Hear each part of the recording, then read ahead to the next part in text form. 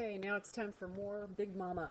So we know this reaction from when discussing enthalpy, and remember enthalpy, delta H equals positive for an endothermic reaction, and it's going to be negative for an exothermic reaction. And now we can look at something known as entropy, and notice that this is a little bit different. There's no H in there.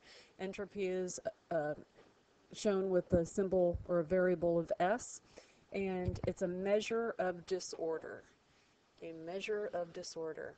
And um, basically, our universe tends towards disorder. It's always, entropy is always increasing.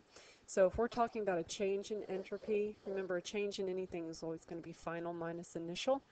So this is what you need to know, that if entropy is increasing, we say that delta S is a positive value. And if it's decreasing, we say it's a negative value. That's easy enough to see.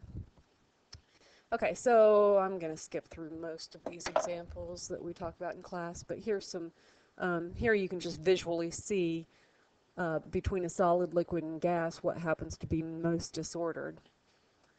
And we come to this, which you see now in your notes. It says, for the following processes, determine if delta S is positive or negative. And so we just want to think about what's going on. Um, with water boiling, it's going to become more disordered. In other words, you have a liquid that's going to a gas. So therefore, more disordered, our delta S is going to be a positive value. And if you have water freezing, it's going to be less disordered. And that's a situation where you have a liquid going to a solid. So therefore your delta S is going to be a negative value. Maybe you even want to think about your heating curve, looking something like that, solid, liquid, and gas. Remember that's going to be exothermic. What that. And it's going to be endothermic moving in this direction. So I know that's enthalpy, but maybe you can think about how that also relates to entropy. So next question is what about dissolving sugar in water? Well, if you're dissolving something, it goes from a solid to an aqueous substance. Sounds to me like that's going to be more disordered. So therefore our delta S is going to be a positive value. And then the last little example on this one is going to be mixing two solutions and forming a precipitate. So you have two solutions and you end up getting a solid out of them. So you've got less, you've got more order or less disordered. So therefore your delta S is a negative value. Now, for these, it says for the following reactions, first predict the sign of delta S. So that's what we're going to start doing is just predicting. We're not going to worry about any numbers at all. And it says no, a change in, um, in state takes precedence over a change in the number of particles. So we'll see an example of that.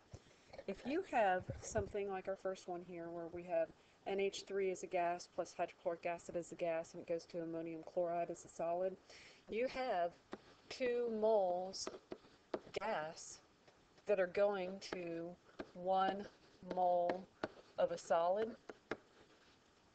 So you're going from a gas to a solid, so it's becoming more ordered or less disordered.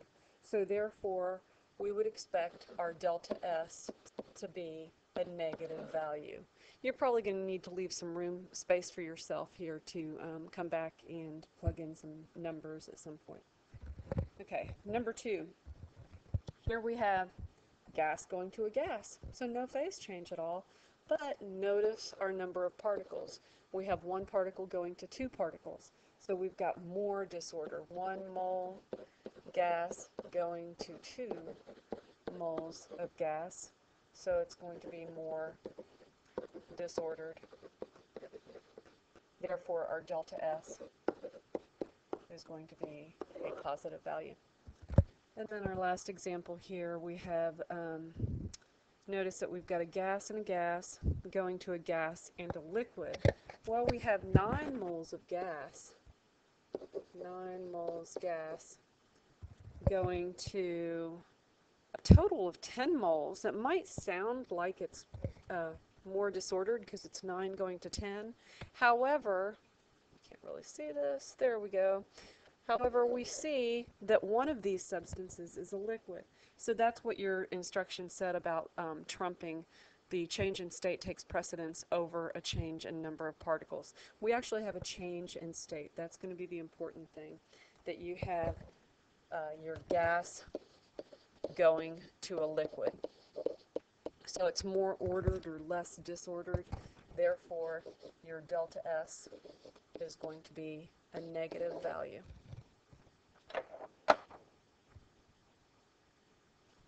And now what we want to do is we want to come back and see how this works with Big Mama if we were to actually throw in some numbers into this formula.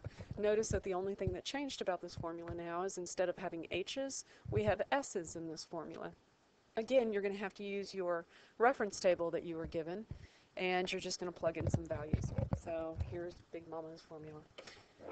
Um, first one, we are going to say that delta S is going to equal our products, which we have one, and make sure you're looking up the right, um, the right, under the right heading. This needs to be for entropy, it's for your, your S value. And it's going to be times 94.6, and we subtract that. We subtract our reactants from that, which is going to be 1 times 192.45, and then 1 times 186.908.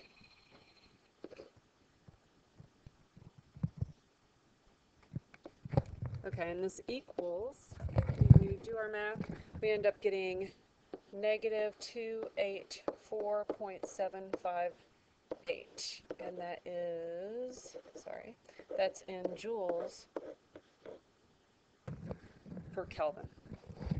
Um, I think that for this next one, the next couple, what I'm going to do is just go through and through the magic of video, I'm going to stop this and I'm just going to write them all down because you don't need to listen to me saying it.